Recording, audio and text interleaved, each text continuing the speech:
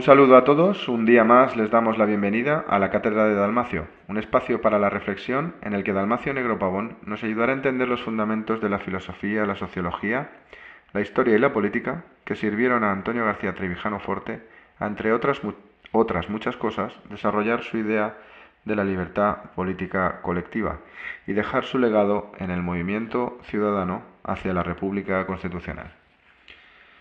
Pues, eh, don Dalmacio, vamos a hacer un programa basado en una entrevista que usted me envió, que me pareció muy interesante, a un político francés llamado Philippe de Villiers.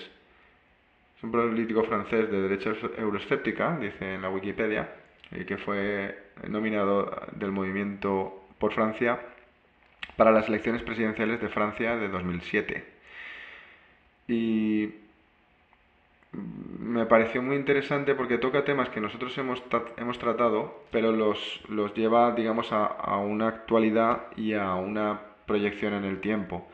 Como sabe, pues en este programa lo que tratamos es de mirar hacia atrás para entender lo que ocurre ahora y lo que pueda ocurrir más adelante, pero no, no, no, nos, no nos interesa tanto hablar de lo que va a pasar, porque no es nuestro campo en, en, este espacio y lo que tratamos es la reflexión y ver un poco los fundamentos de las personas que ahora, digamos, están más influyendo, pues en qué se basan a nivel ideológico, filosófico, eh, mecanismos de poder, resortes que puedan estar utilizando que por la observación en el tiempo, en la historia, pues podamos intuir un poco cuáles son esos esas bases, ¿no? Y, por dónde por dónde pueden andar.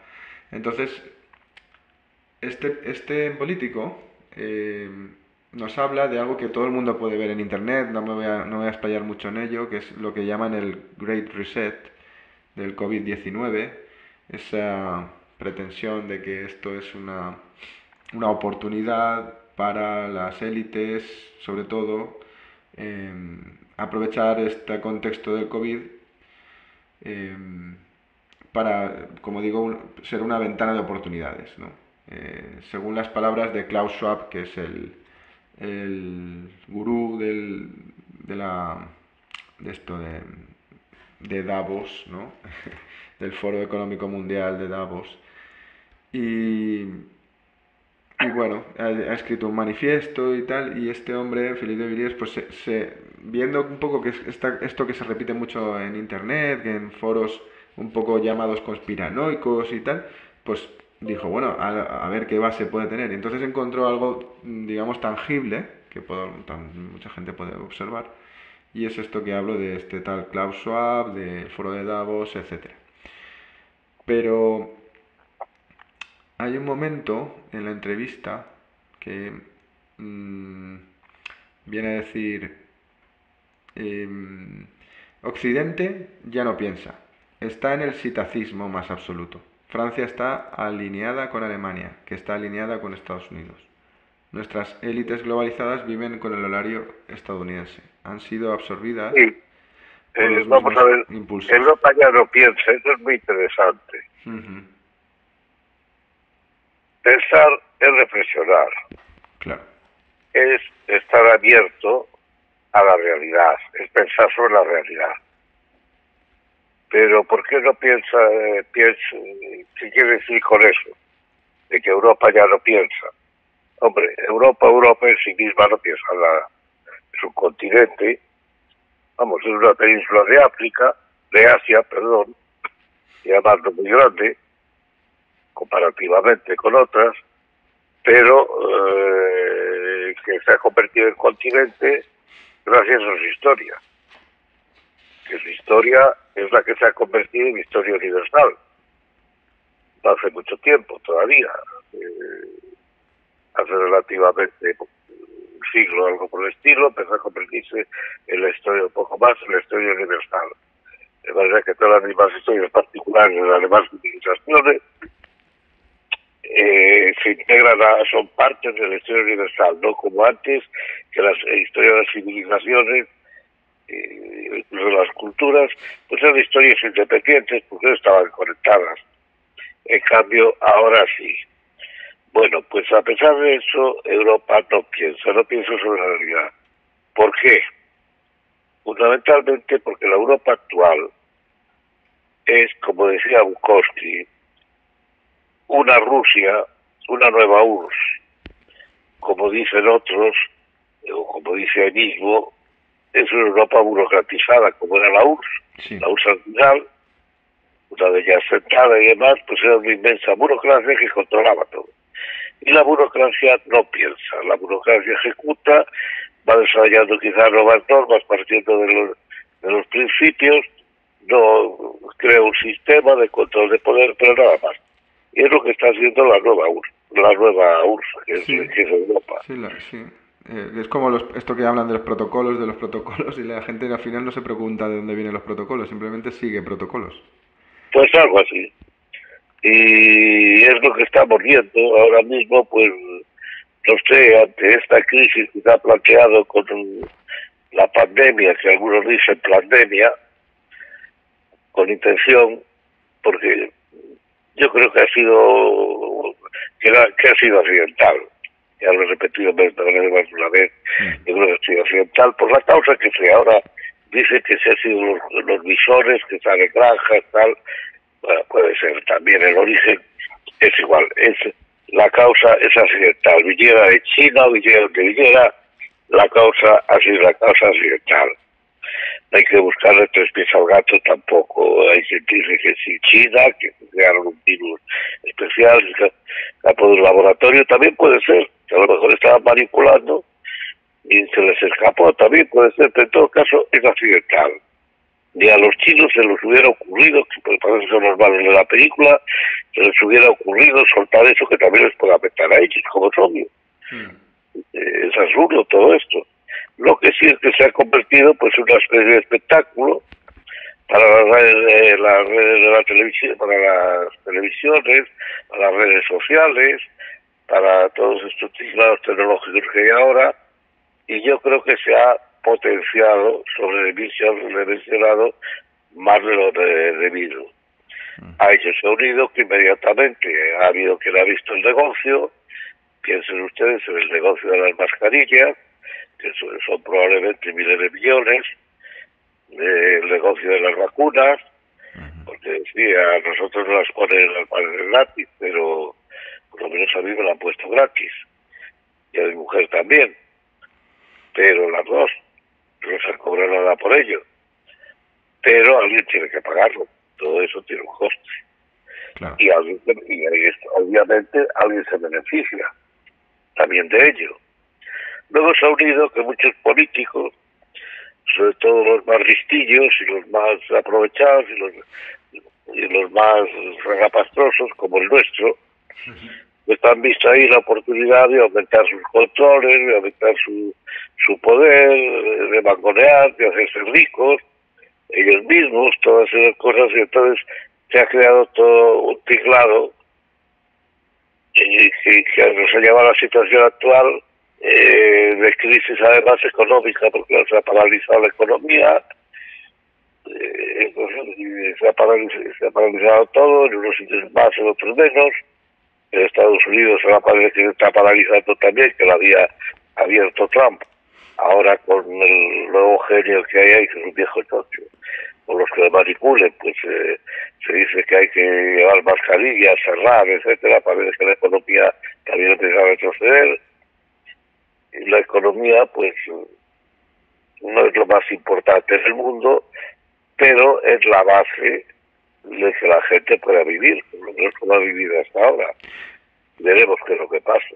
Pero Europa, y Europa pues lo que hace pues es, nada, pues, eh, no, dice nada tampoco, que si las vacunas ahora mismo se han descubierto, también, que parece que es verdad, un escándalo de que la comisaria, creo que es así, la comisaria de sanidad o algo por el estilo, la encargada de las vacunas y todo eso, resulta que ha ingresado pues de pronto 3 o 4 millones de, de euros, o de, euros, creo que son, no dólares, de euros, que no, es incapaz de justificar y que dice que los laboratorios la han, la han sobornado para decidir sobre las vacunas, sobre la compra de vacunas, en España, no digamos el negocio que deben tener montados los arribistas que están en el poder, pues eh, a lo mejor a lo mejor exagero, a lo mejor no me equivoco, pero yo creo que, es evidente por muchos síntomas de que también el negocio con ellos. Sí, yo, creo que es algo que no se habla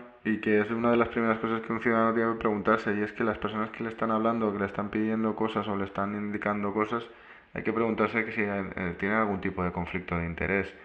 Y parece ser que esa, esa persona que estaba diciendo usted del Parlamento Europeo, eh, no sé si está en la, en la Agencia del Medicamento, eh, creo que estuvo trabajando para algún laboratorio ya, y aparte, no sé, lo de la noticia de que había recibido dinero no la, no la sé exactamente, no la conocía, pero sí que conocía que había estado hace pocos años trabajando para, para algunos laboratorios.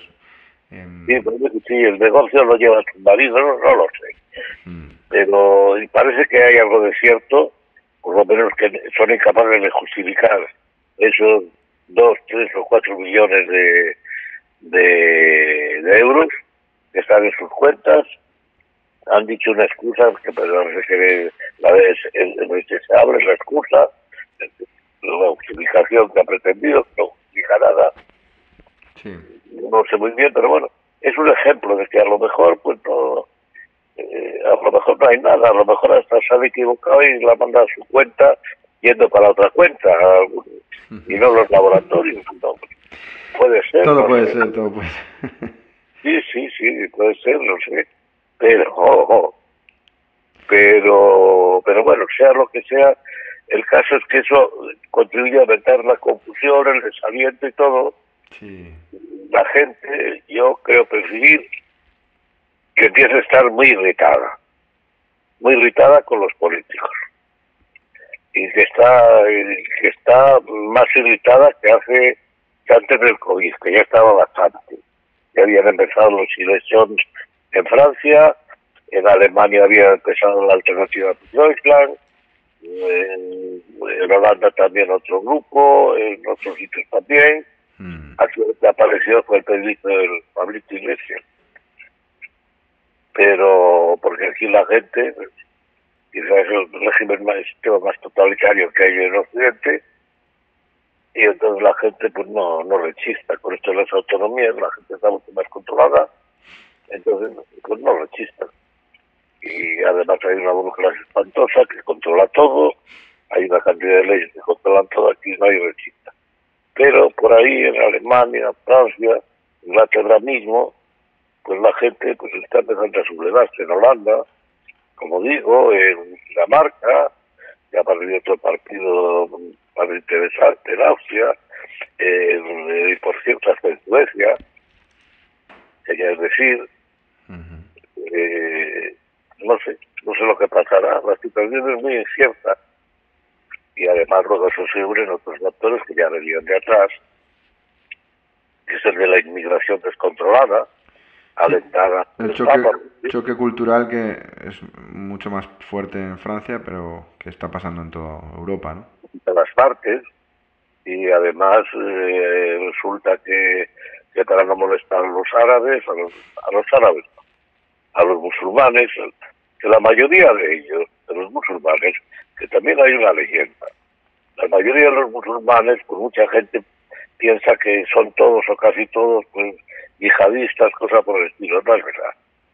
Mm. Son gente normal que vienen, eh, que vienen a Europa o van a donde pueden para ganarse la vida pero como siempre basta que haya unas minorías activas, que sean imanes, sea lo que sea, y entonces esto crea la sensación de que viene la conquista y además hay un hecho.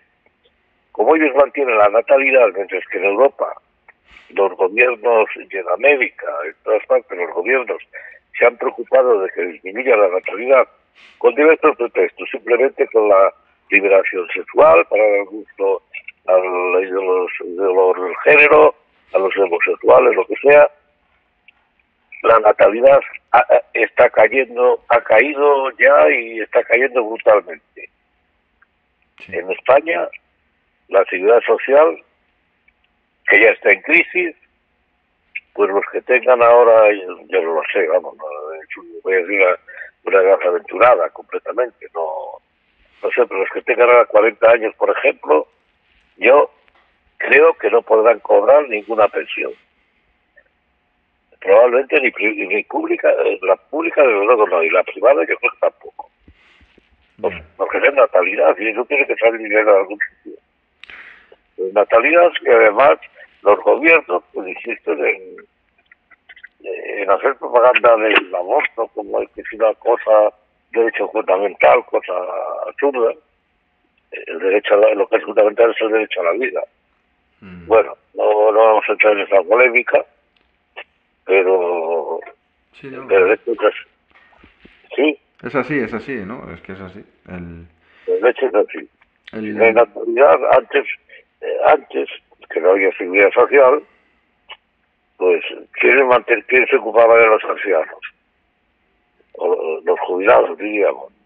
Los hijos, la familia, la que La familia al mismo tiempo se quiere destruir con todas estas reglas de estrés y con todo eso.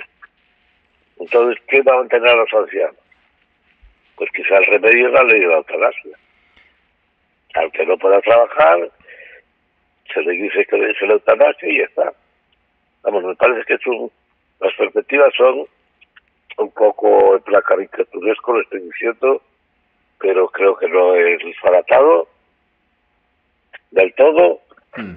Y las perspectivas para la gente joven de ahora son de cuidado. Que a lo mejor se acostumbran y no les toca y les parece normal. Porque el ser humano se acostumbra a todo. Se acostumbra hasta contar al señor a don Pablo, a don Pablo Sánchez. Pedro Sánchez, sí. sí. Se acostumbra a eso porque todavía le sigue votando gente. Igual que sigue votando gente, aunque este es más reciente, al, al, otro, al Pablito. Mm. La gente se va acostumbrando, traga, les dice, eh, les dice que hay que aumentar los impuestos, a gente que ya no puede casi pagar impuestos, pero les votan. Sí. Eh, todavía eh, se habla de lo que ha ocurrido en Madrid, se habla de la derrota de, de la derrota del triunfo brutal de Ayuso y todo eso. Hmm. Bueno, pero hay ahí todavía no sé cuántos miles de votos, que deben igualar casi a los que han votado la señora Ayuso, que votan todavía al PSOE, que, que está arruinando a todo el mundo, que votan al que el rival que lo ha traído al pecho. Es una buena cosa porque más Podemos ya no es eh, el PSOE que además eh, yo veo que me parece que es más, Madrid o más, Podemos. Más Madrid, más Madrid. Madrid. Sí, pero es una especie de más Podemos, tampoco está mal definido. sí. Bueno, me, he equivocado. Pero eh, que además tiene un circuito limitado porque tendría que eh, llamar, cambiar el y llamarse más España o algo así. Sí, pero no, le, tienen un poco de complejo para llamarle más España y le llaman más, más, país. Más país, yo qué sé, no sé. Mm. Pero bueno, eh. todavía el propio, el propio Pablito Iglesias ha tenido un 10%, ha tenido 10 diputados.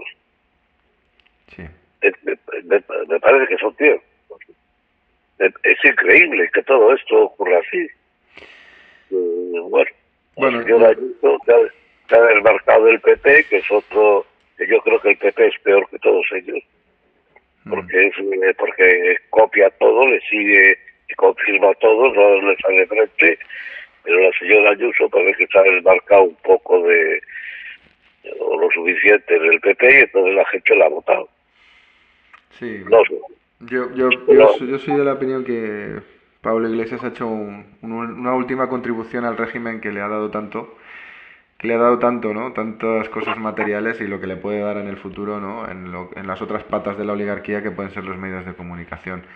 Pero yo creo gracias a él, a entrar él como, como un elefante en una cacharrería en la, en la, en la campaña, ha conseguido, creo que en gran parte él, ¿no? Pero los demás también han contribuido a polarizar y a, que aumente la participación. Porque llevábamos unas elecciones en Cataluña o Galicia, sobre todo en Cataluña y País Vasco, con una abstención muy alta, probablemente achacable a la pandemia, por supuesto, pero con una, una, abstención muy alta que no, que no es aceptable para, para el régimen para legitimar los resultados porque están en el 50% prácticamente.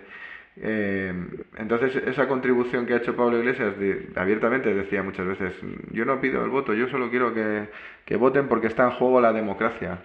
Y otros hablando de que estaba en juego la libertad, y otros hablando que estaba en juego el que venía el comunismo, y otros que venía el fascismo. Y ha sido como mensajes muy, muy primarios, muy sentimentalistas y, y, también algunas cosas pragmáticas, porque yo lo he vivido en mis carnes, ¿no? que tengo, llevo a mis hijas a un colegio eh, concertado y en, alrededor pues mío veía que la gente asociaba eh, a Ayuso con mantener ese tipo de educación y los, los otros pues eran como que era un ataque a ese tipo de educación. Y, y como es una, ha sido una elección también un poco atípica, que, que, era solo para la Comunidad de Madrid, no para los municipios ni, ni en otras comunidades, era solo en Madrid, y además que luego dentro de dos años se va a volver a repetir, o sea, una cosa un poco extraña, pues ha sido también una especie de, de votar a más personal. Aunque en España está prohibido votar a personas, se vota a partidos, y lo estamos viendo porque Pablo Iglesias, después de decir que iba a mantenerse en la, en la Asamblea de Madrid, eh, saliera lo que saliera, lo primero que ha hecho es incumplir esa, esa promesa, como tantas otras veces, y ha, y ha dimitido. Pues, ¿quién se queda? pero ha dimitido porque parece que queda para las más controles. Sí, sí, claro, porque, porque tiene asegurado... Tiene asegurado es un cara dura, es un cara dura que lo que quiere es hacerse rico.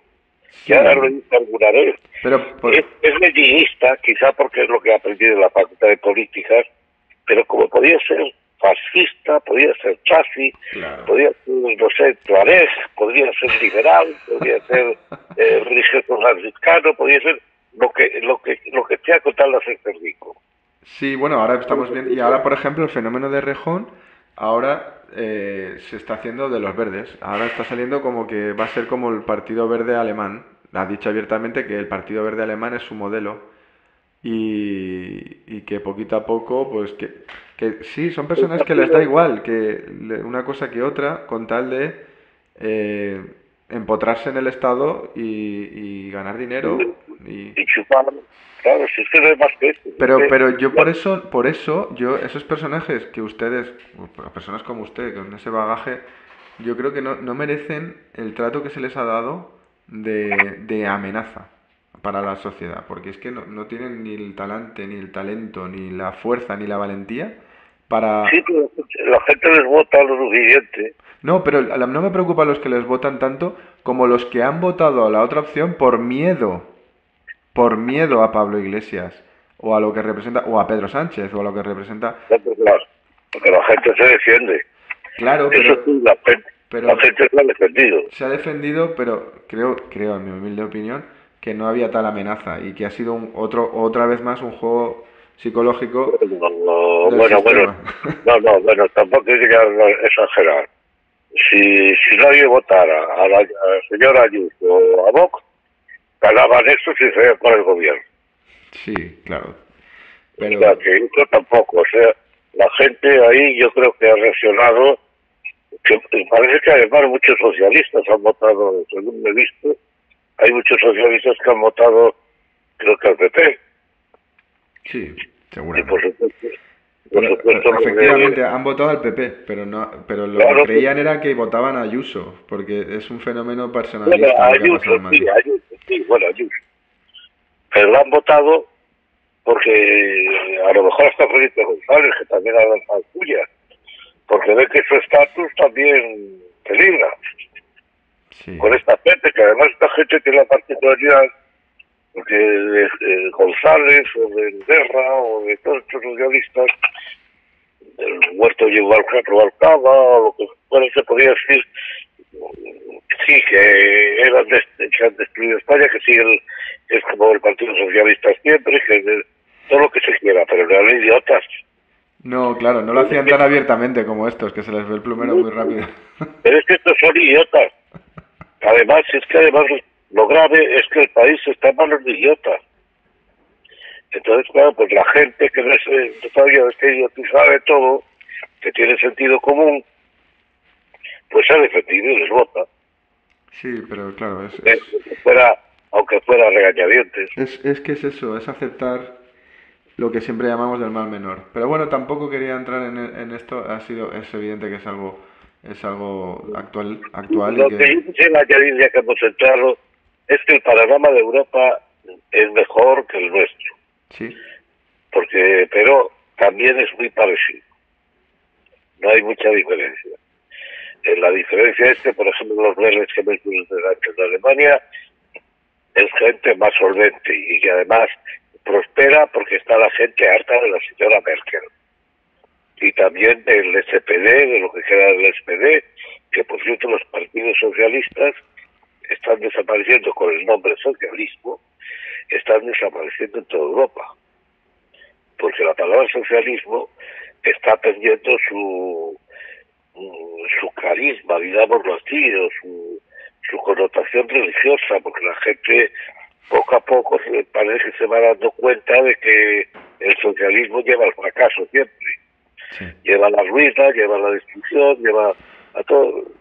El, socialismo en general, que hay socialismos más potables y menos potables, etcétera. Y la socialdemocracia pues, ha llevado a Europa, que no es el marxismo, ha llevado a Europa pues, a una, el marxismo soviético, ha llevado a Europa la situación actual. Y la Merkel pues es una socialdemócrata también aunque teóricamente sea democracia cristiana y todo eso. Es parecida. Está en favor de la Merkel que a favor de la indignación, etc. Quiero decir que a los verdes les vota también gente que está harta y como ve que los verdes, un poco el fenómeno de, de Pablo Iglesias aquí. El Pablo Iglesias prosperó porque la gente llegó un momento que estaba bastante harta con aquellos los insumisos sin saber por qué, pero estaba harta, apareció este diciendo que él era también antisistema y la gente le votó, luego cuando se vio que lo que quería es cambiarse el sistema, dejó de votarle. Sí, sí es curioso que, que, han desaparecido él y, y, Rivera, que fueron los dos partidos eh, ciudadanos, quiero decir.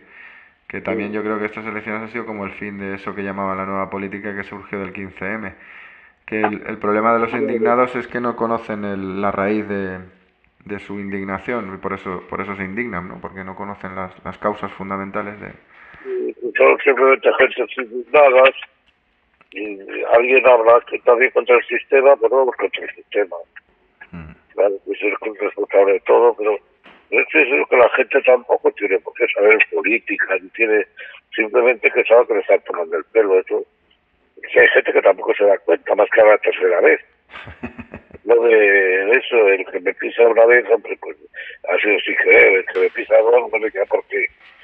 Y el que me pisa tres, es que quiere hacerme pisarme la posta y le doy la matada. Sí, pero sí que es verdad que en Europa eh, está perdiendo fuerza desde hace tiempo, ¿no? Pero ahora más habrá acrecentado esto de, la socialdemocracia y Ayuso, Ayuso digamos que ha sido como, como un algo discrepante con toda esa tendencia que decía en el artículo de Villiers que mm, Europa ya no piensa y simplemente sigue lo que le viene de la socialdemocracia mundial o el, este el, social capitalismo este que viene de Estados Unidos eh, lo copian lo copian unos se copian a otros se mimetizan los países y alguien que piensa un poco o que se siente un poco más mm, porque las circunstancias han sido un poco especiales para que Ayuso esté donde está, que ha llegado muy rápido a, a, tener poder y digamos que no ha tenido una todavía una influencia negativa eh, de, de, de, politiquear, ¿no? No sé si me explico. Y entonces ha, ha, ha, tomado decisiones, para bien o para mal, ha tomado decisiones y, y no se ha fijado tanto en lo que venía de Europa, de esto de no pensar por uno mismo, sino decir, bueno, pues me tomo una decisión, me equivoco, pues tomo otra, pero no se tapan, como hacen la mayoría de los políticos, eh, que son muy cobardes y que se miran unos a otros, pero nadie quiere salirse del tiesto, ¿no? Y, Las figuras han actuado sin ideología, por ideología. Claro. Desentendida de la ideología, atendida a la realidad, que habrá equivocado, habrá saltado. Pero el político lo que tiene que hacer es atenerse a la realidad, no guiarse por la ideología, que es un problema muy serio que está ocurriendo en Europa hace mucho tiempo y ahora ya en todo el mundo occidental y prácticamente en todo el mundo, la ideología. La ideología eh, es lo más siniestro que hay, porque es, eh, hay que la ideología es la verdad, la ideología es la que realiza la utopía, la religión tal, todas esas cosas. Y esta señora, por lo que ha hecho, ha sido, pues, atenderse a la realidad, quizá ha tenido consejeros, buenos, buenos consejeros, ha actuado con cierta prudencia, ha rectificado cuando tenía que rectificar. Bueno, pues se ha tenido a lo concreto, a la realidad concreta, que es como tiene que ser la política, sí. a la realidad. Sí, sí, ha tenido agilidad para tomar decisiones rápidas, que eso es lo que se le pide a un ejecutivo, digamos, ¿no? Que tome decisiones para bien o para mal y que luego, pues que el tiempo y los resultados te pongan en tu sitio. Pero la mayoría de los políticos ahora no toman decisiones y quieren, por medio de la ideología potenciada con los medios de comunicación, redes sociales, como usted dice, ¿no?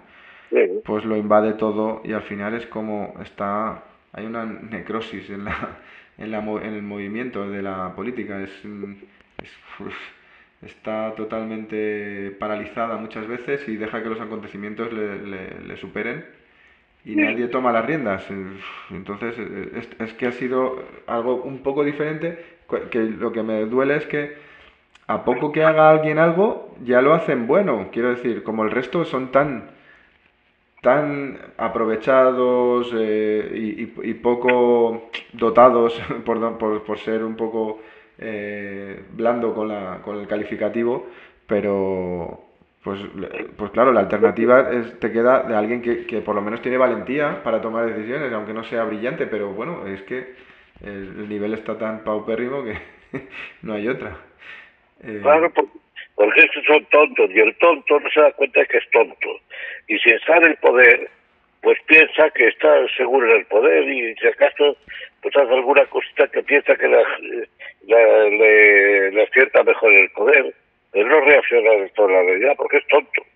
Es que, de verdad que yo insisto en que el problema de la política española es sobre todo un problema de tontos que más, más le falta señalar con el dedo, basta eh, investigar mucho. Investigar mucho. Basta recordar al Pedrito Sánchez, que es además un psicópata, lo cual le hace más tonto todavía, el reído de sí mismo, un narcisista, psicópata narcisista, el Pedrito, el Pablito Iglesias, es que son además tontos.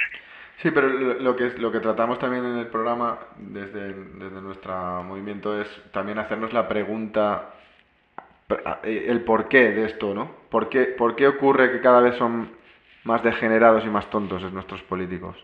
Es lo que nos gusta que los oyentes se hagan esas preguntas, ¿no? Eso es, es donde, el fondo de la cuestión también. Porque el ser tonto no es solo una cuestión de cultura, que a veces también son tontos porque son muy incultos al mismo tiempo, vamos. La ministra que pasa por el, lo he visto hoy, me parece, que pasa por ser la única sensata en el que es la, ¿cómo se llama? Sierra o Cerra, la de Hacienda, me parece. Eh, ¿Cómo se llama? Calviño. Que ya ha seguido, ya está, suponiendo que esté a un genio, pues ya siguiendo la corriente de los tontos, pues al hablar de empresas ha dicho empresas y empresos. Lo he visto, lo puede ver en internet porque viene pocas revistas que veo yo, veo tres o cuatro, pero todas viene el, empresas y empresos. Yo, yo, lo había oído a Yolanda Díaz, que es la de la de la, la que ha ocupado el puesto que ha dejado Pablo Iglesias, eh, dijo impuestas, eh, impuestos e impuestas. Pues sí. Pues sí, claro. claro, impuestas, son, impuestas son algunas ministras, yo creo también, sí. La tontería se contagia muy fácilmente. Sí, eh, eh, pero, pero aunque es da para chascarrillo y la risa, pero, pero realmente es otro de los mecanismos de la, de, la, de lo que invade toda la ideología, ¿no? Y, y, la, y, no deja pensar, que es lo que usted, hemos empezado el programa, con lo que no, no piensa Europa, porque está invadida con un lenguaje eh, degenerado que, que también eh, evita eh, que se entiendan los conceptos, que se entiendan las cosas, que las entiendan las personas entre, entre ellas y que, no sé, que haya un discurso que, que luego lleve a una ejecución, pero es que hay una lógica. Ellos mismos ya no se entienden. Es un lenguaje de programación o más bien de desprogramación lo que estamos viviendo, ¿no? Y es, Pero eso pasa siempre cuando, cuando decae una cultura, una civilización, la gente se vuelve estúpida. Y el problema es que quedan, si queda en España suficiente gente que no sea, que tenga todavía sentido común. Porque la ideología destruye el sentido común. Y aquí se ha implantado el socialismo, la monarquía para sostenerse, ha favorecido el socialismo todo lo que ha podido. Y, sigue favoreciéndolo. Porque el rey no dice nada, el rey está callado todo lo que pasa. Entonces, también, pero, pero no dice nada. El rey podría haber salido al quite de los disparates del señor Jorge, el señor el doctor, ¿cómo se llama? Es que con esto San Pablo y San Pedro me han morido. el doctor Sánchez. Su santidad.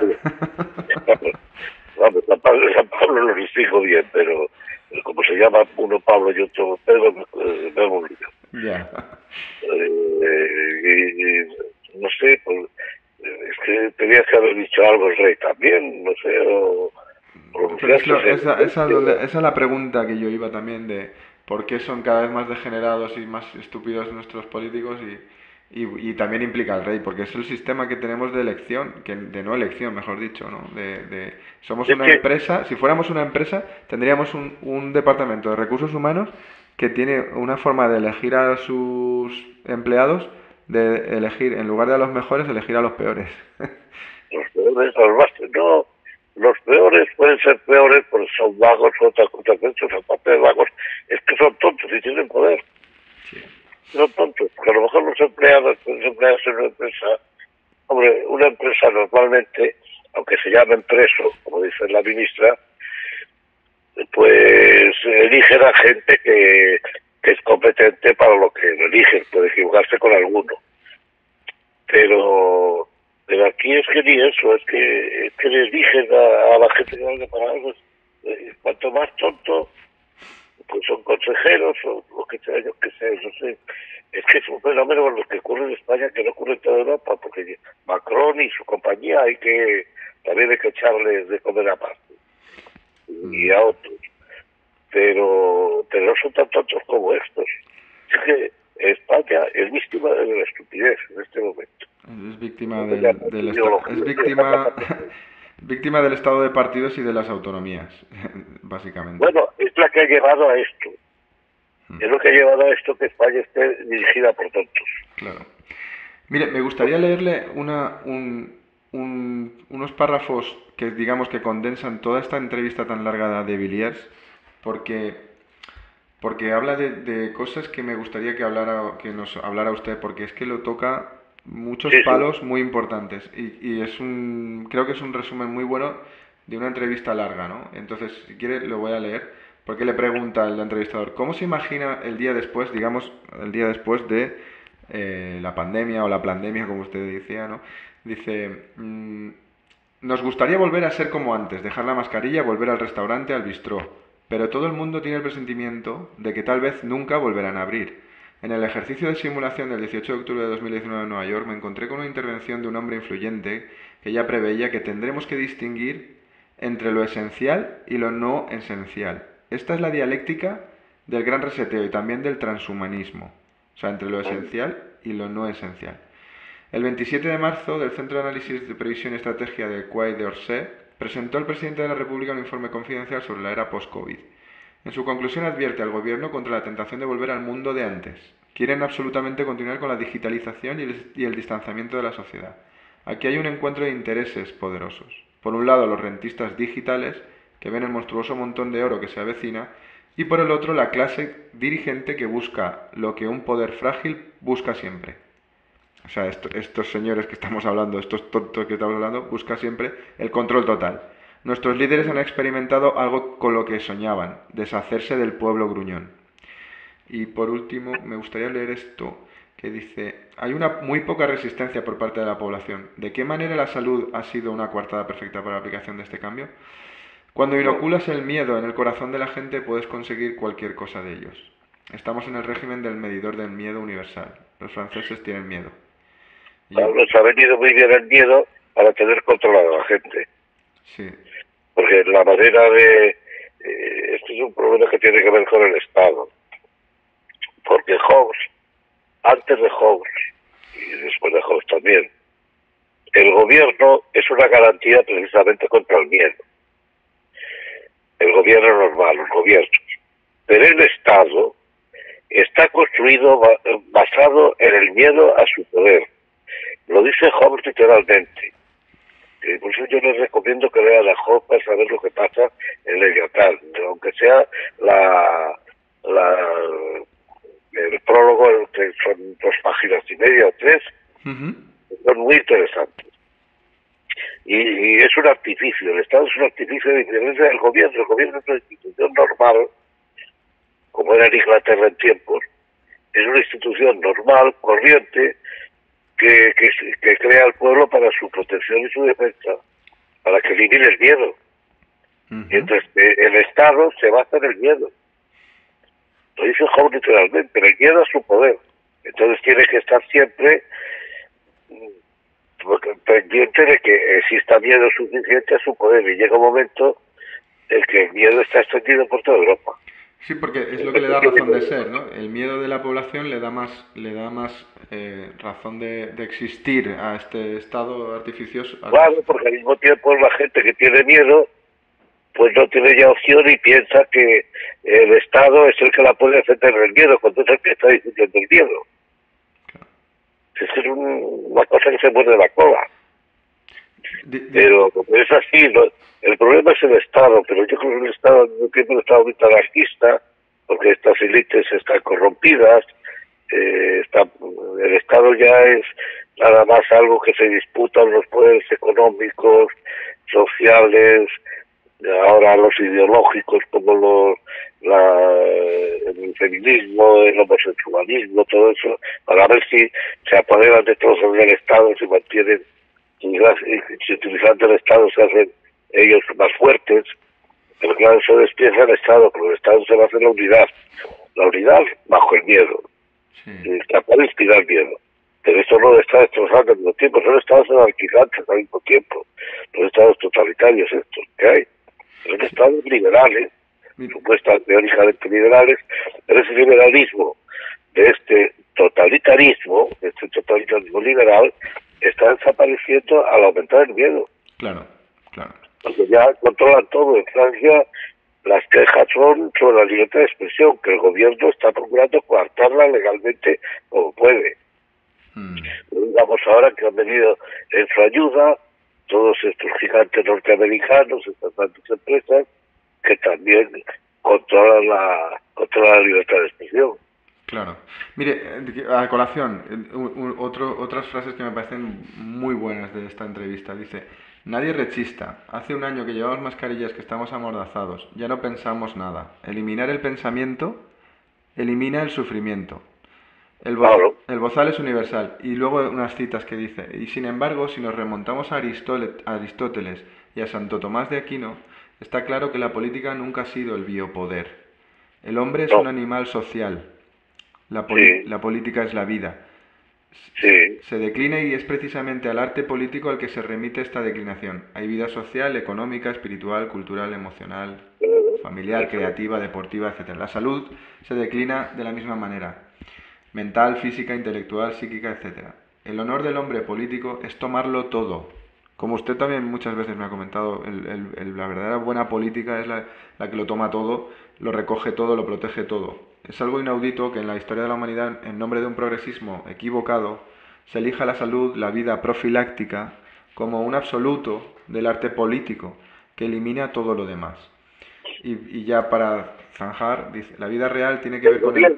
Sí. Perdón, el gobierno se, se instituye siempre que hay un grupo humano el gobierno político, me refiero al grupo humano que se convierte en grupo político, se instituye siempre para proteger al gobierno, eh, para proteger al grupo, para protegerlo de qué, protegerlo del miedo. Claro. En cambio, en los estados eh, infunden el miedo. Infunden, incentivan, porque es lo que les da más poder, ¿no?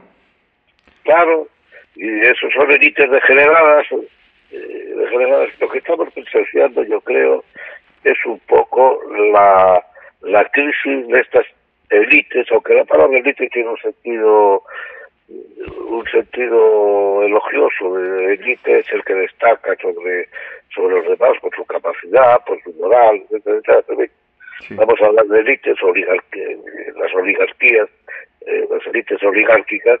Estas son élites degeneradas todas que proceden de momento después de la guerra, de la guerra del 45.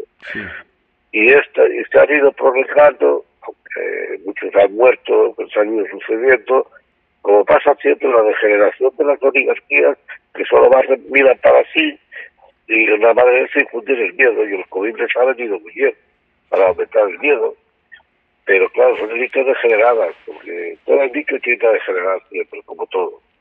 Y estas élites, pues eh, instaladas en el poder, pues han hecho que Europa haya prosperado, incluso socialistas, todo esto después de la guerra, ha, prosperado Europa, eso no cabe duda, económicamente ha prosperado, moralmente ya es más dudoso, pero ha prosperado y yo creo que el punto de inflexión ha sido la revolución del 78 que ha sacado a la luz, ha llevado al, poder, al poder social, al poder económico, al poder, ha sacado toda esta gente que en parte son idiotas, que no, estúpidos, que no ven la totalidad, que ven nada más lo suyo, y que, que, que eso degeneraba rápidamente.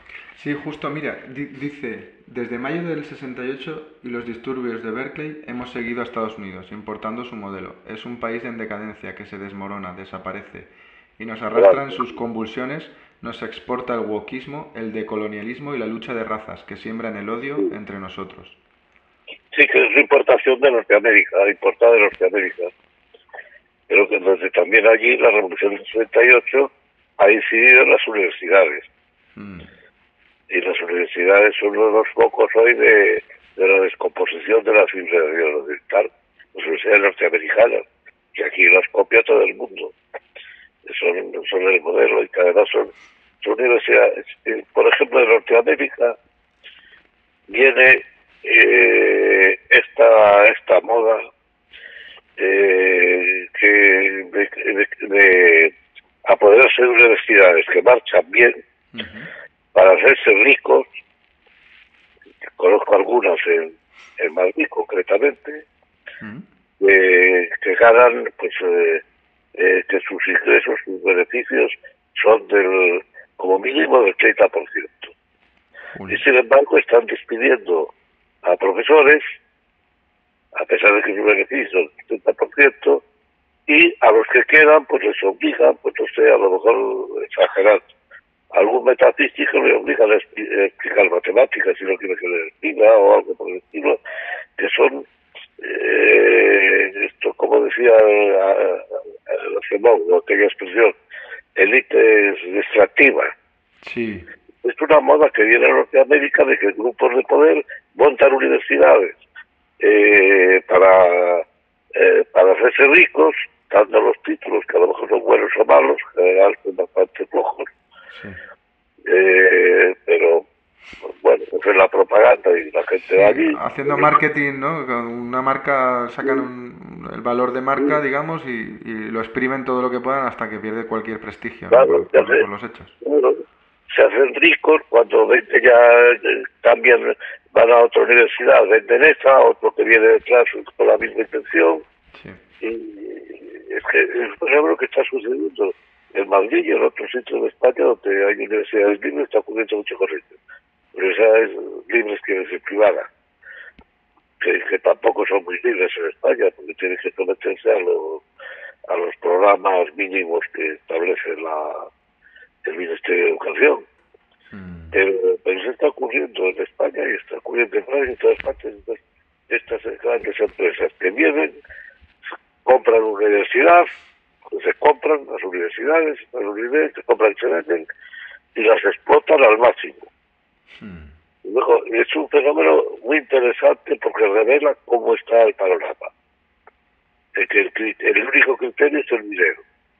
Y es el criterio que siguen los, los estúpidos también, porque es el que hay, no ven más allá de sus narices, pues también dicen hacerme rico, el Pablo Iglesias, que es lo más notable. Sí, rico como sea, aprovechando de la política, igual que, que estas empresas que se apoderan de universidades para ser ricos y luego las dejan tiradas. Hmm. Sí. Dice, dice también eh, de Villiers, el día después es la entrada en una especie de deshumanistán, un mundo en el que en nombre de los sanitarios sacrificamos la juventud y la transmisión, un mundo en el que en nombre de lo digital sacrificamos la sociedad de vecinos, los oficios realizados con la mano y el corazón, no es casualidad que se hayan cerrado los restaurantes. Por último, un mundo en el que en nombre del posthumanismo se ha desnaturalizado la especie humana. No es casualidad que en medio de COVID llegue a la Asamblea una ley sobre la eutanasia, eh, porque lo ha mencionado antes, ¿no? Después de una ley sobre las quimeras, la mezcla de células madre humanas y animales. Después de la ley que alarga los plazos del aborto, que ahora permite el infanticidio justo antes del nacimiento. Y la mercantilización de los seres humanos. Y todo eso por cuatro votos. Sí, en otras palabras, nos están empujando a una disociación. No sé exactamente, supongo que es la desnaturalización del ser humano. ¿A qué se Sí, es otro problema eh, que es, eh, hay un libro que yo no sé si he mencionado alguna vez, quizás no porque es reciente, relativamente reciente, que yo recomendaría que es el de Remy Bragg. Es un libro que tiene mucha vida, eh, que se titula, ¿cómo se ay, perdón. Me suena que lo haya mencionado otra vez, ¿puede ser? Sí, sí. ¿Lemmy Bragg? ¿Lemmy? No, espere que lo tengo por aquí. El libro es de... Em, sí, aquí lo tengo. Eh, Manicomio de Verdades. sí. Manicomio de Verdades. Es un libro muy interesante. Yo diría que más que lo que sugiere, más por lo que sugiere que por lo que dice, lo cual quiere decir que es un libro muy bueno. Porque el libro, el libro bueno no es solo lo que dice, lo que sugiere. Sí, sí, sí, es como el cine, el cine bueno también es lo que no aparece en la pantalla, ¿no? Lo que sugiere. Sí, y él plantea ya el tema de si según está todo, según el no pensamiento actual, está llegando a la conclusión de que se justifica la existencia del ser humano. Sí. Claro, porque si aborto, eutanasia, eh, el día después, eh, liquidación de la natalidad, etcétera, etcétera, ¿eso qué, qué, hay detrás? Esto del ser humano no está justificado, no debe estar en este mundo, que es lo que dicen muchos ecologistas claramente. Sí. Ecologistas que dicen que había que exterminar a la humanidad, yo no conozco a ninguno que se haya suicidado todavía, para dar ejemplo. Pero claro, porque debía dar ejemplo y suicidar.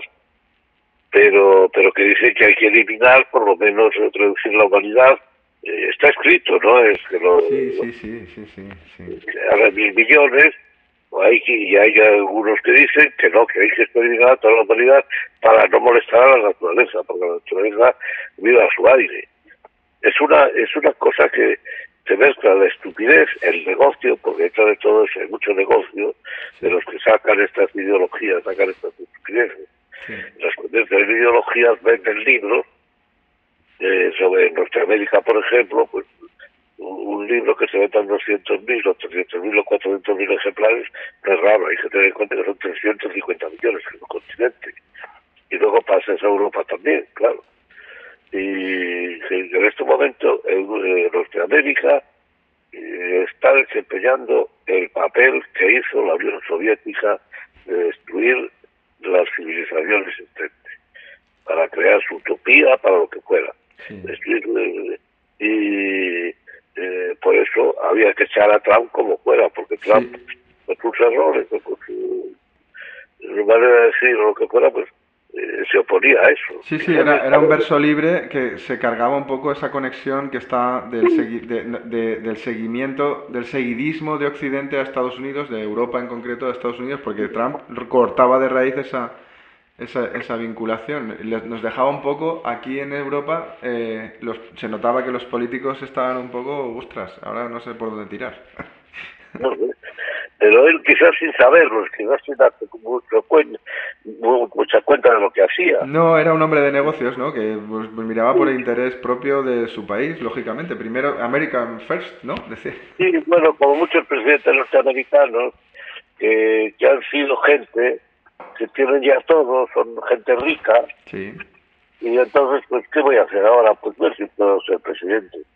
Y entonces, pues, ahí ha sido tirando Norteamérica a base de esta gente que tiene ese interés, no se corrompe fácilmente.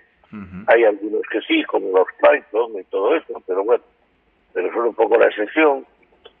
Pero no se corrompe, lo hace mejor o peor, procura buscarse buenos asesores y, y va para adelante Norteamérica. Pero ahora ha llegado a un punto que yo no sé a dónde quiere ir, porque ya se están destruyendo ellos mismos, los grupos que Mira, mandan. Mira, a colación también de lo que acabas de decir del, de lo de suicidarse, ¿no? Los seres humanos para salvar el planeta prácticamente, eh, le preguntan a Debilides, ¿en qué consiste este nuevo compromiso? Se, se supone entre las nuevas élites, ¿no?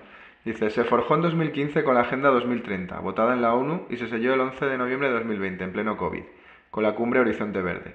Escuche con atención lo que voy a decir porque es monstruoso. Estamos asistiendo al nacimiento de un capitalismo digital verde. Hay una razón por la que Greta Thunberg está invitada a Davos. El CO2 es el nuevo virus oficial. Los ecologistas apuestan para que la digitalización del mundo permita encerrar a la gente en sus casas, evitar los coches en la ciudad, hacer que todo el mundo vaya en bicicleta, prohibir que vuelen los aviones, abolir la propiedad, señalar con el dedo a la industria porque contamina y convertir la energía nuclear en eólica, que consume metales raros. El nuevo imperativo categórico es sencillo, digitalizar para descarbonizar.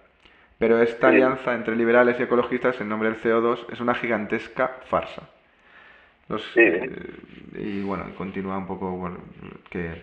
Y que ya lo que ha hecho Biden es, es adherirse al CO2 que Trump estaba en contra, adherirse a la climatología. Sí, porque dice- climatología. ¿sabe cuál es la contribución de Francia al CO2 mundial? El 0,9%. Pues bien, en nombre del 0,9% nos van a infligir el decrecimiento y el campo de reeducación permanente de los gemeres verdes. Sí, eh, Sí, es que eh, incluso nada. estas noticias de lo de los, los las, de ponerle peajes a, la- a- a las autovías y a las autopistas, incluso a carreteras regionales, pues me recuerda a esto, es decir, con la excusa del CO2, porque tienes un coche que, que contamina, eh, pues tienes que pagar. El que, el que contamina paga. Eh, Es el lema también. Y, Sí, y los, im- y los impuestos que van al bolsillo de la clase dirigente y sus amigos. Claro, claro. Y en España se hace más flagrante todo, o sea, más flagrante y más degenerado porque no hay ningún control, ningún control sobre esos impuestos. ¿Qué se hace luego con esos impuestos? No, todo menos de reducir Estado y reducir cargos, todo, se hace de todo menos eso, eso por, por supuesto. No, no, al revés. Y, por, y ya hay más gente que trabaja eh, para el Estado, directa e indirectamente, o que vive en el Estado. Que, que la que trabaja por su cuenta. No, no, eh, lo he leído por ahí, no me acuerdo las cifras, pero eh, hay, por ejemplo, podría ser algo así, como un 40% que trabaja para sostener todos los gastos del Estado y pagar a todo, y que vivan o malvivan el resto de, de los que no de los que no trabajan. Sí. No, no sé si es que lo de España es disparatado por completo. ¿Cree usted que hay cosa más disparatada que un gobierno está apoyado, que se basa, eh, su, que basa su poder en que forma, en que le apoyan los que quieren destruir la nación? Yo creo que es la primera vez en el mundo que ocurre eso. Sí, ha habido mucho lenguaje de programación, yo creo, en España de ingeniería social, porque hay gente que se ha creído el mensaje de que España, como hecho nacional, es un proyecto, ya es el primer error, es un- como si fuera un proyecto, un proyecto fallido. Eh, Sí. Yo creo que eso ha hecho mucho daño, eh, porque el- muchas veces el propio enemigo lo tenemos dentro, porque se ha inoculado eso. Bueno, usted que está dentro, pues, si es que está en el gobierno porque el gobierno te incorpora. ¿Quiénes te apoyan a- al, al Pedrito, me parece que es Pedrito, no Pablo, Pedrito Sánchez, Sí. el separatista? Los separatistas, pero que mucha gente compra eso.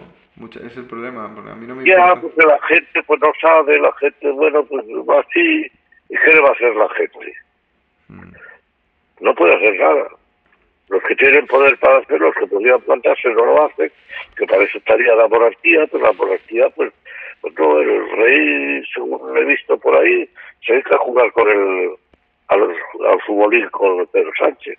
Es que, es que el sistema de partidos en el Estado y ahora sobre todo la vuelta de tuerca con las autonomías que estamos sufriendo es la desmembración de la nación totalmente, o sea, la desintegración.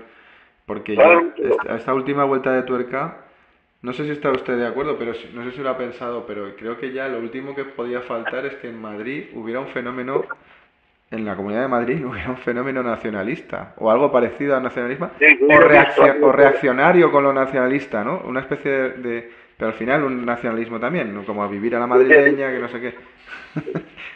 Yo ya he visto por ahí que, que lo dice irónicamente, claro, eh, este que lo dice lo dice irónicamente, algunos lo creerá que lo dice seriamente y piensa igual, que porque ella que ha ganado de tal manera la señora Ayuso, que por qué no proclama a Madrid, Madrid como es Madridistán o Madridistán, Sí, una nación independiente. sí, sí.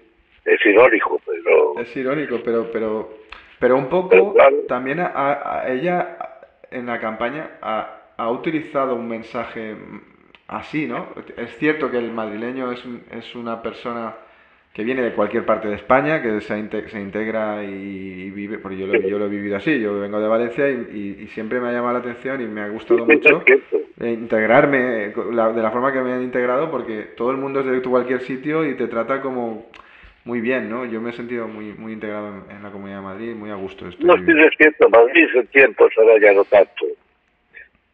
Pero Madrid en tiempos, los madrileños, hubo un momento después de, de- después de la guerra civil en que los madrileños, nacidos en Madrid y con, con afectos en Madrid, pues eran muy pocos. La mayor parte de la gente que venía de provincia.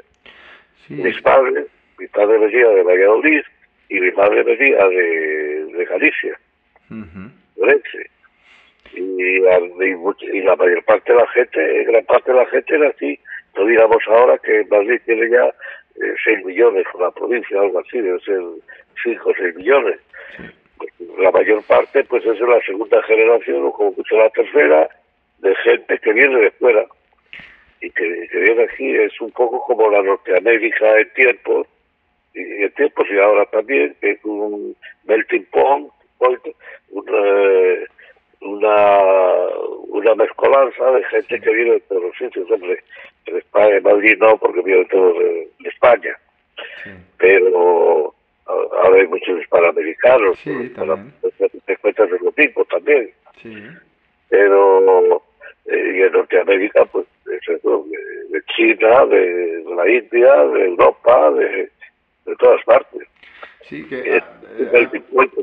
a mí me- eh, al fin y al cabo la Comunidad de Madrid, como casi todas las comunidades, son artificios eh, políticos, ¿no? Creados porque que encima las capitales, las capitales, que eso es una, que eso la cultura, la cultura de la nación se hace en las capitales desde cada vez más en el, en el siglo XIX, ya lo decía Tocqueville en Francia, eh, que en Francia el trasladar la capital a París hizo que toda la cultura fuese parisina, eh, toda la cultura francesa, que fuese la parisina la dominante ujú, y que es una cultura urbana, mientras que Francia era campesina en su mayor parte.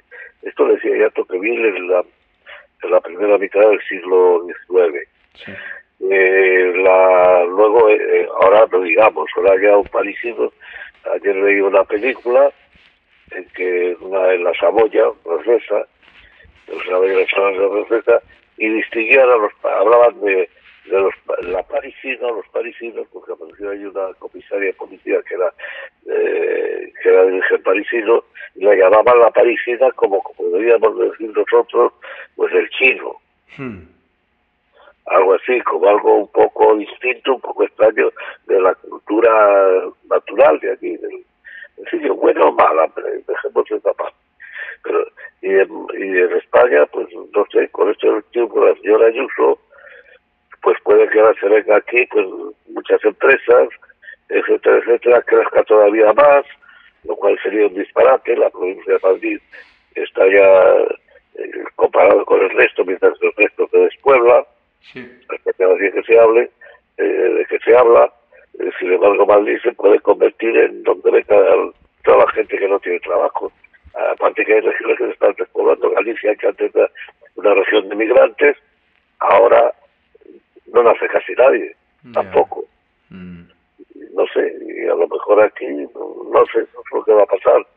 Ahí es un mundo en transformación, porque esto que está pasando aquí, eh, de manera quizá más radical, más profunda, eh, está pasando en toda Europa. Es eh, las élites estas que concentran todo el poder en unas localidades, en unos sitios tal, y luego que se conocen entre allí, dominan todo el panorama ideológicamente con las ideologías. Eh, Francia las ideologías se hacen en París, siempre se hacen en París. Hmm. Es el país típico de eso. En Inglaterra también, en Londres, que es otra gran ciudad en medio de, de un país más pequeño que Francia y que España pero también es el problema de Escocia, los escoceses tienen cierta razón, porque están dominados por la cultura parisina. Sí. Eh, perdón, la cultura londinense, por mm. los partidos que predominan en Londres, las ciudades de Londres, no sé cuántos millones de habitantes tiene ahora. Bueno, eso es muy interesante. Christopher Dawson, y, es un gran historiador, y Spengler, Osvaldo Spengler, muy conocido por los radicales del occidente, creía que estaba en decadencia, pues decían que la gran ciudad está acabando, con la, ellos decían la gran ciudad, no se usaban en las capitales, aunque sí mencionaban algo de las capitales, de la gran ciudad está destruyendo la civilización europea, por la civilización europea. Es además la única, la única gran civilización que es de origen campesino. La civilización europea nació en los monasterios. Sí. En, los monasterios, los monasterios instalados en el campo. Ahora ya hay monasterios que están incrustados en la ciudad porque la ciudad ha crecido. Claro. Pero en el campo. Este, eh, es así, esto hay un capítulo en el libro que les recomendaría porque en el año 57 eh, pero además han sacado una versión ahora con un prólogo posterior. El libro de Lidia del Corral, que tiene un capítulo estupendo, eh, como todo el libro, pero el capítulo este es eh, eh una, no me acuerdo cómo es, la, una Europa, una civilización campesina. Me explica ahí muy bien, y además muy clarito, muy... se llama El Rapto de Europa.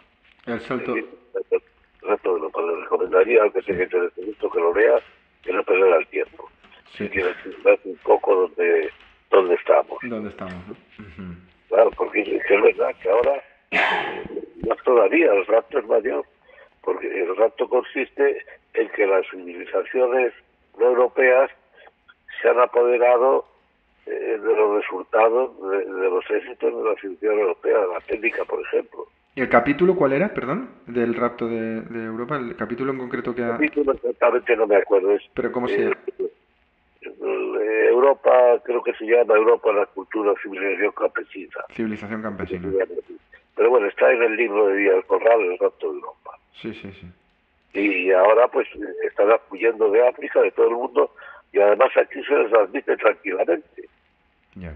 Y además hasta el Papa, que es lo más lo más curioso, incita, incita directamente, a que venga aquí quiera.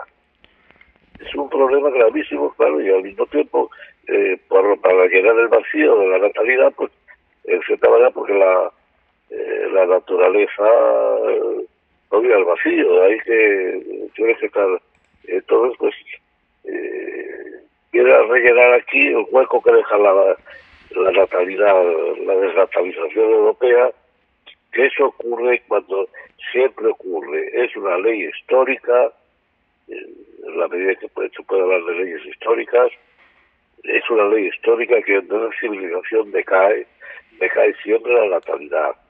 Eso pasó, es un caso clarísimo que se vio, que ahí por ahí se cayó en la cuenta de esta especie de ley, lo que ocurrió en América. Los indios americanos por el choque con la cultura española, eran las culturas inferiores, no podían resistirla. Y entonces no hubo tantas de indios como digan, ni nada, puede ser algún caso de, la leyenda negra. Sí. Sino, bueno, fueron enfermedades también que llegaron los europeos, también, bueno, los europeos llevaban, llevaron aquí las enfermedades a apostar como si fuera el, el virus que hay ahora. de la de la que sífilis, allí por lo visto desconocida, pues la llevaron los españoles. Bueno, además es el mal italiano, porque los sífilis venía de, por lo visto de Italia. Ya, pero la, la, diferencia con Norteamérica es evidente, ¿no? Por lo menos por Norteamérica o con el imperio británico anglosajón, es que nuestra, nuestra cultura con la americana, digamos que hubo un maridaje, hubo, hubo mestizaje y no y no y no una sí, no, no, la, la Isabel la Católica una de las primeras leyes que hizo fue encomiando y que había que favorecer los enlaces entre españoles y indígenas. Sí, sí, y a las pruebas nos remitimos de la actualmente, pues se, pues, Y por eso América es distinta, la civilización eh, española en América es distinta de la norteamericana, completamente distinta, que es de origen inglés, que, es de origen inglés, pero la, la base de la población, curiosamente, es de origen alemán. Ajá pero la cultura dominante era la inglesa. Estuvo, incluso, me parece que lo alguna vez, estuvo a punto de ser el alemán la lengua, que en Norteamérica no es lengua oficial, es la lengua que usa el gobierno, que es ah, distinto. No hay ninguna lengua oficial, sino la lengua que utiliza el gobierno para defenderse el gobierno, para defenderse los gobiernos, y por un voto precisamente de un inmigrante alemán, se decidió que fuera el inglés.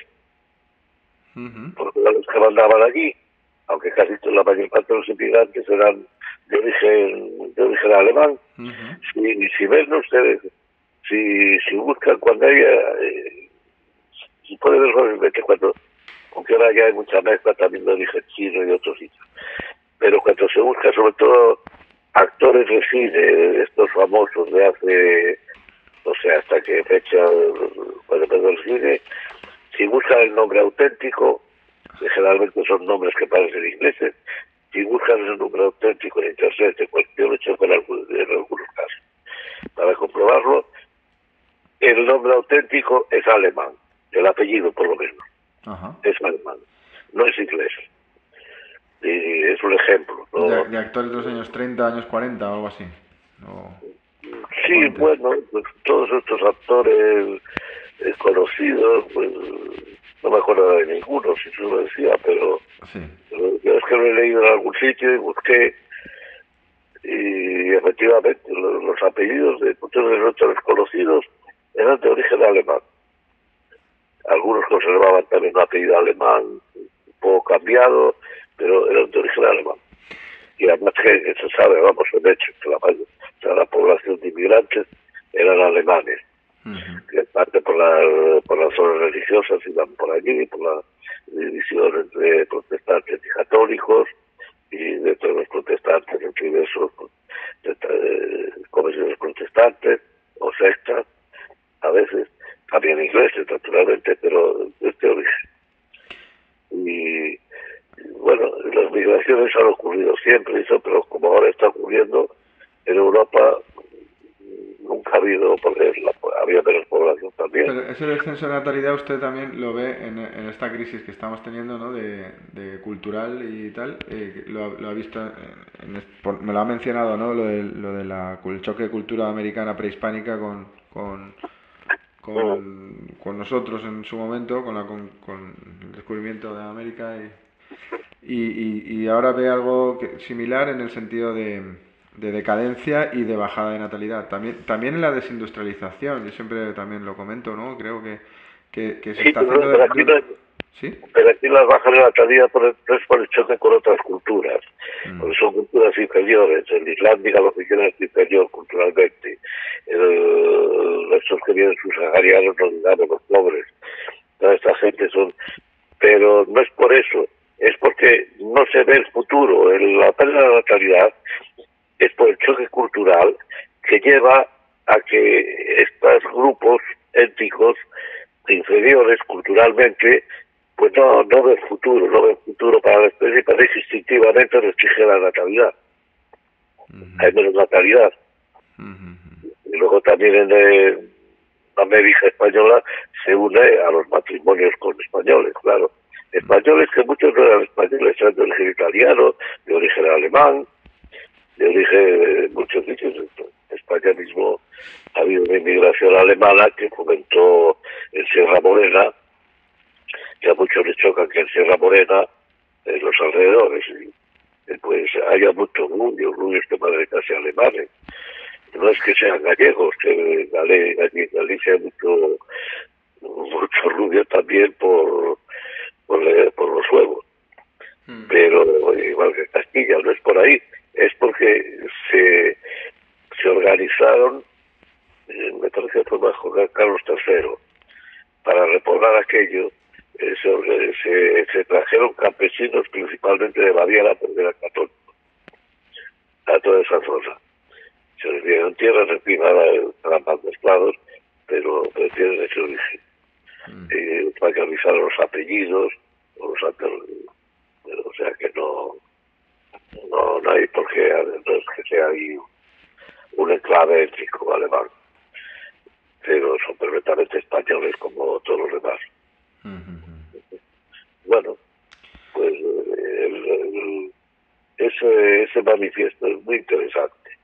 Sí, sí, la verdad que sí. también habla de otras, de, habla del, del, momento en el que el, primer pacto entre élites fue con el, en el 68 y, apareció esta, esto que llamamos los, los bobos, los bohemian burgues, los, los, los burgueses bohemios. Eh, y, ese tipo de, de clase que, degenerada, que como usted dice, que, lo único que busca es el hedonismo y la búsqueda de, de lo inmediato y exprimir cualquier cosa, ¿no? Bourgeois, bueno, se dice aquí, sí. La izquierda del caviar. Y, y, es curioso que es verdad que lo que se asocia a la izquierda es más elitista y, y, está más, más, más desapegada de la realidad social y que luego los, los que e incluso estamos viendo que insultan incluso a, los, a la clase trabajadora por no votarles o, o por no apoyarles.